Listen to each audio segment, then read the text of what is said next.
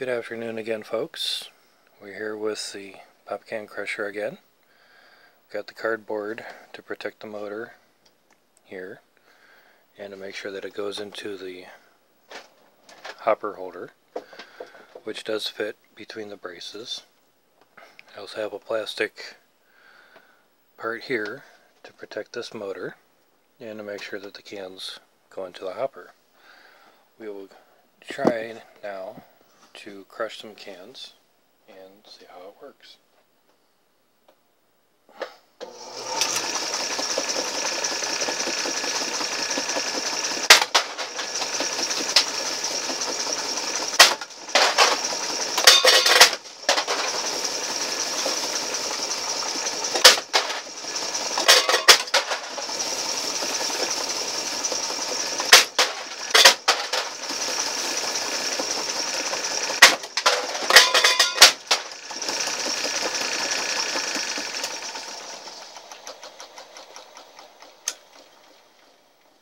And as you can see, so far so good.